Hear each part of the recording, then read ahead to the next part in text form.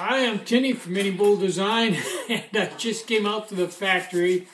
Uh, just starting up the fire now, uh, getting warmed up here. It's uh, it's like 10 degrees out, maybe 12. Uh, and out here is probably in the low 40s. Never gets real cold out here. But uh, once I get this fire going, once again, I'll uh, turn the camera back on get this jacket off and get warmed up a bit. And then we'll talk, which we do almost every day. And I enjoy. and today being Saturday, I'm going to kick back a little bit, but uh, I got some some customer orders stuff be interesting uh, to talk to you about. It's uh, kind of overcast today. Not much of a day yet.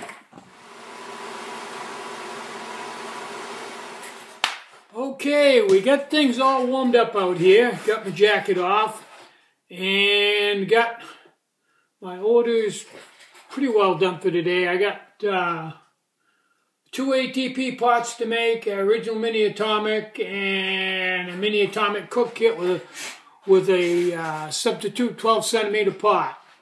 Uh, the other custom orders I've already done, and even though I said I wasn't going to do it, a really good customer who lives a long, long ways away uh, wanted a SS1 simmer ring. So uh, this morning I I built an SS1 simmer ring, which re requires that. Just a second, I'll show you.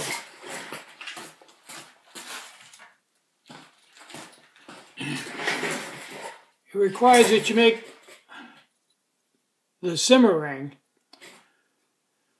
And this will slide inside of the uh, carry case. But before, the top of the stove would just slide inside the carry case. So you have to make another one of these. These that will fit inside of this. And that requires that you uh, make another one of these and make it smaller which you can't just take the original one and cut it down because there isn't enough wall thickness. Have to start all over again. This is a used one. This is mine. So you have to make all this and it's fussy. Uh, what good point to make here is you got to realize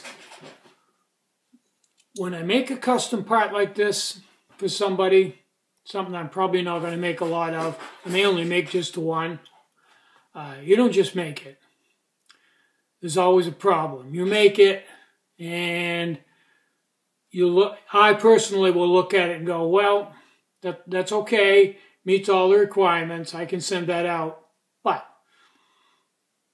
I'm not really happy with it. This is a little too thin, or this is a little too short, or this is a little bit too loose a fit, so I set it off to the side and make another one. And we make another one and say, wow, that's that's a lot better. But uh, I think, and I'll make a third one. So anytime I usually make a custom part like this, two-piece custom part, like I usually make three of them. So, and and these are tiny little things, and the tolerances to get everything where it's supposed to be are fairly tight small part for the size lathe I have, and there's really no money in it. I just do it as a favor to to a friend, you know. And and that's good because this, you know, these people order. These people my bread and butter. These people that that order from me on a regular basis, and that's these few people are what keeps me going that and uh, the orders from the completely new customers, first time orders. Uh, go, um, PayPal sends me a thing once a month saying what my percentages are. And, and once again this month, and it's been this way for a couple months, uh, 64% of my sales were from uh, new customers. So that, that's a high percentage. That, that really broadens my customer base. On the other hand, customers that have bought from me before, it may be a one-time thing, it may never buy from me again. So it's not like my customer base gets used because I pick up here and it drops off here. So but all the way around, I think my customer base is increasing. Now, uh, I'd like to state the obvious, but obviously not obvious to everybody. Uh, if for any reason ever you have a question about your order, where is it? Uh, when did I ship it? Tracking number for an international order should be supplied on a domestic order. But anyway, tracking number. You want me to track it for you and send you the tracking information.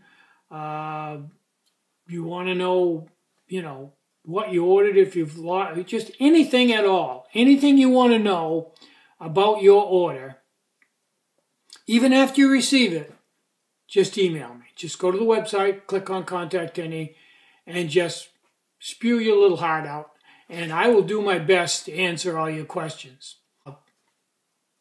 Just email me. Ask anything, and I'll, I will answer your email.